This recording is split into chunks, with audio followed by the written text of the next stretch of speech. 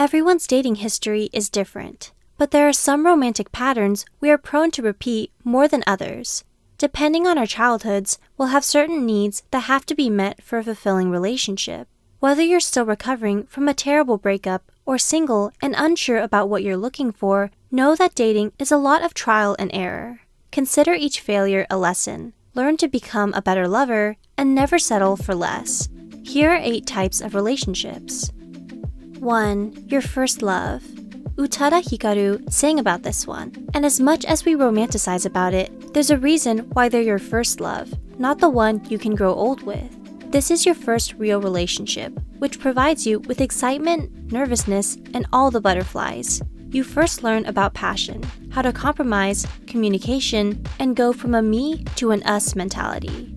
When you're young and inexperienced, love will feel sweet and intense, but as you grow older, you'll start to realize you want something more. 2. Opposites attract. This is 90% of every romantic comedy and Korean drama out there. You gotta admit though, they make some pretty addictive plots, until it happens to you. At first, you can't imagine your life without them. They seem to teach you everything you've missed. When you're both opposite ends of a magnet, things are bound to get a little interesting, right? But too many differences can also tear the relationship apart, which is usually what happens. Having different interests is normal, but your beliefs and values have to be similar. 3. Friends with benefits. Have you ever only wanted sex, but nothing more complicated than that? This is a casual relationship you enter when you and your partner agree that you're strictly bed buddies and nothing more. Sometimes it's liberating when you know you're not looking for anything serious, whether it's because you'll be moving to a new city soon or want to work on yourself first before committing to someone romantically. 4. The rebound. This is when your headspace is not in the right place. You most likely got out of a relationship that completely wrecked you. Instead of recovering in a healthy fashion, you just want someone to fill the void, so you quickly jump into another relationship without really assessing whether you two are truly compatible. You might have a hard time being alone and looking for a distraction. On the inside, though, you're still hurting, and this never ends well for you or the other person. 5. The recommended relationship.